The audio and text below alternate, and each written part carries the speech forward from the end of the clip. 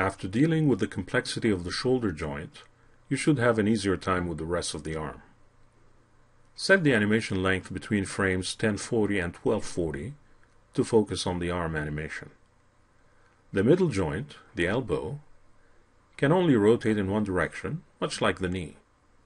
However, because of the arm's roll bones, there is also a bit of a twist to take into account. As always, start by blocking off vertices to follow their closest bones. You have already done a bit of work on the shoulder joint, so you can concentrate on the rest of the arm down to the wrist. This may be easier to do from the top view. The elbow area requires a bit of attention. Start by selecting these vertices and assign them to follow the shoulder bone 100%. Next, select loops or rings using Shift 2 or Shift 3 to select and assign vertices to the forearm bone and the forearm roll bones. The selection of roll bones is often difficult in the viewport, so select them from the bone list in the skin modifier.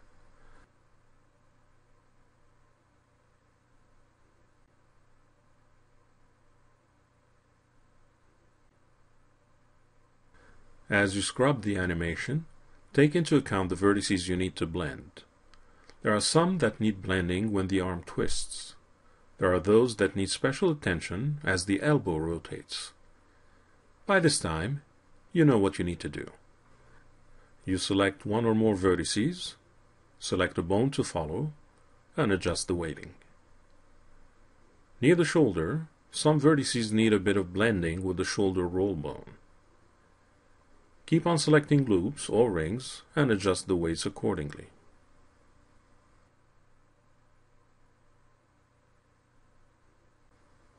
The elbow still needs a bit of work. Take a look at it from the top between frames 1120 and 1140.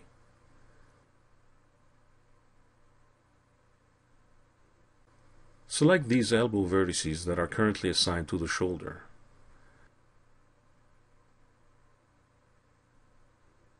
Select the forearm bone and gently blend the weighting. Do not overdo it yet, as you will need different values between the front and back vertices. Remove or add vertices and adjust the weighting.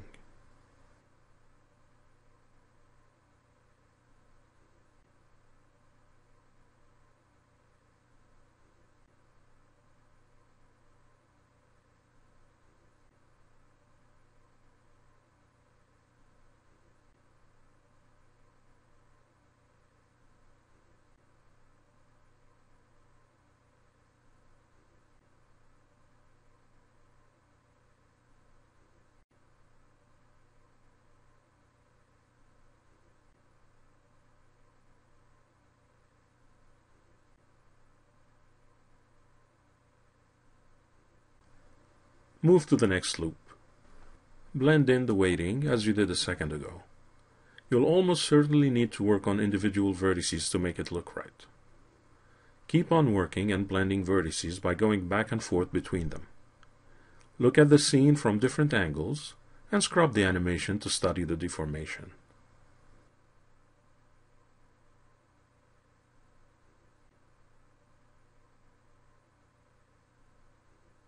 When the elbow is done, you can blend the weighting of the forearm vertices.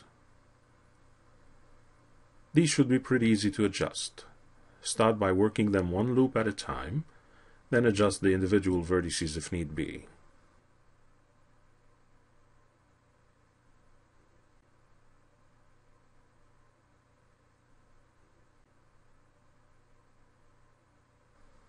When you're done, exit envelope mode and save your file. In the next movie, you will work on the hand and wrist.